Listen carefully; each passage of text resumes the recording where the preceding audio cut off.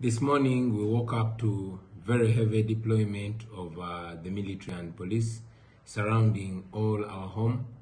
And uh, when my security guard went to find out what's happening together with my gardener, they were arrested, beaten up, bundled into a waiting drone and driven away. Until now, we don't know where they've been taken. Uh, all our gates have been blocked by military trucks. The hind gate and the front gate are all blocked. Uh, the roads leading to our home have been, you know, roadblocks have been mounted there. It's unfortunate that Museveni uh, puts me under house arrest when I'm supposed to be in Kayunga campaigning for our candidate. And yet he is using taxpayers' money to go and campaign in Kayunga. It's very unfortunate that they continue to behave this way. But my word, my message to the people in Kayunga is that you can take this upon yourselves.